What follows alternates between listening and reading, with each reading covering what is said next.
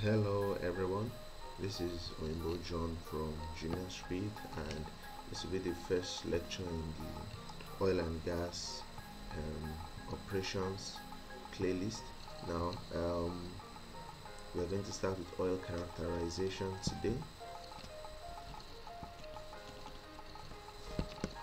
Um, the learning objectives is um, to be able to use the oil characterization option Now let's just do a brief introduction. The petroleum oil characterization method in HYSYS will convert laboratory analysis of condensate crude oil, petroleum cuts and coal tar liquid into a series of discrete hypothetical components. Now these petroleum hypocomponents provide the basis for the property package to predict the remaining thermodynamic and transport properties necessary for fluid modeling. Also, HYSYS will produce a complete set of physical and critical properties for the petroleum hypo component with a minimal amount of information. However, the more information you supply, the more accurate these properties will be predicted by HYSYS. Now, now in this particular lecture, the oil characterization option in HYSYS is used to model a crude oil. The crude is the feedstock to an oil refining process which we will see in the subsequent lecture. Now the let's talk about assay. The assay contains all of the petroleum laboratory data boiling point boiling point curves light ends property curves and bulk properties now HYSYS uses the supplied assay data to generate internal TBP that's true boiling point molecular weight, density, viscosity curves, which are referred to as um, working curves. Now, bulk properties for the sample may also be supplied. So when it's supplied, it is used. The bulk properties are optional if a distillation curve or um, chromatograph have been supplied.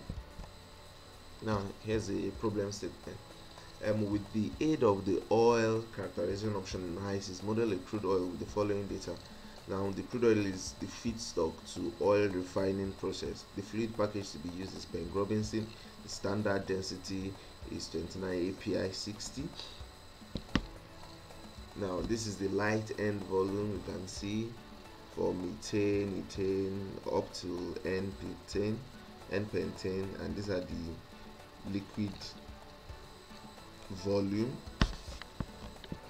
Then this is the TBP um, distillation data the assay percent and respective temperatures in degrees Celsius liquid volume percent. So um, let's go to HISIS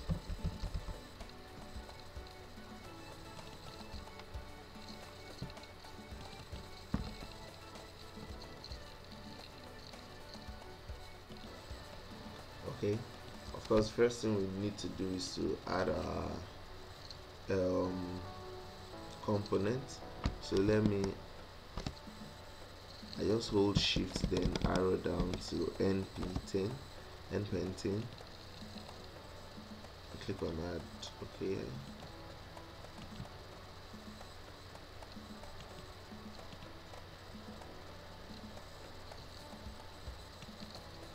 I just want it to be at the top.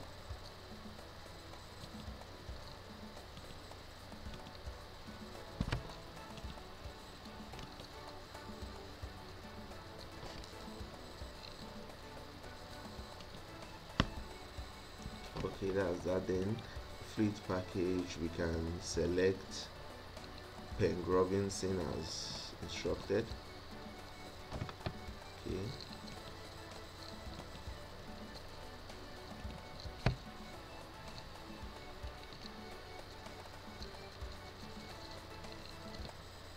then I clicked on um, oil manager so we can come here and say input aside then add bulk property used.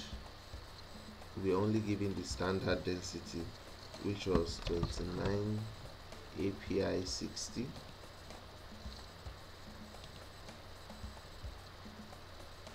assay data is um, TBP distillation assay basis is um, liquid volume. Then let's edit assay assay rather. Then let's impute it.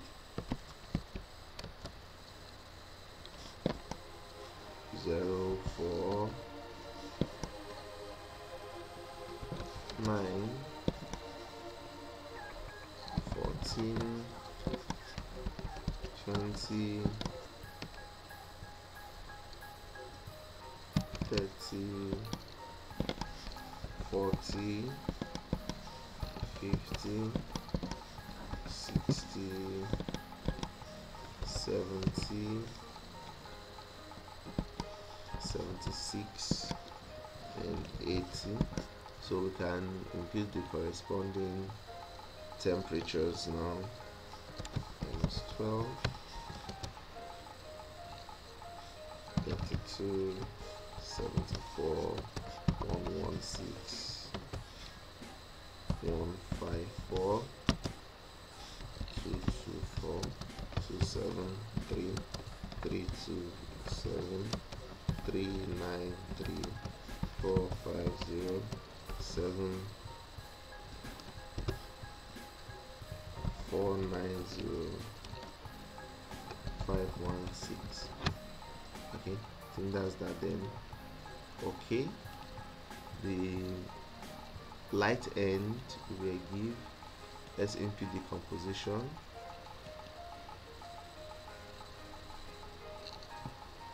liquid volume basis. Okay. For methane so 0 0.0065 0 0.0225 0 0.3200 0 0.24 1.75 1.65 2.25 okay let me just go back to the slides just so you can have an overview of everything. So I think it's correct yes it should be so you can pause the video to write it down and just pause it and and be inputting the data on your HYSYS okay let's go back to HYSYS now. Okay you can click on calculate. Okay the assay was calculated. So let's go to the output blend and add click on assay 1 then assay 1 then add. Then after that you install the oil. Yes we're installing blend 1 install.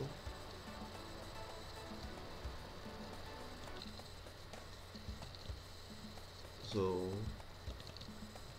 we've added this assay so we have to install oil stream name let's call this crude oil then install oil. That should be installed. So you can check the tables here. These are the working tables we are working with. As you can see the hypos that have been generated here.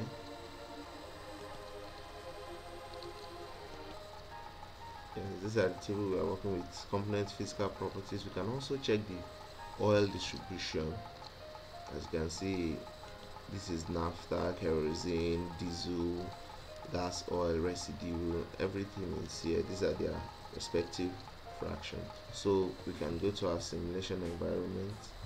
We already installed it as um, crude oil. So here's what we installed.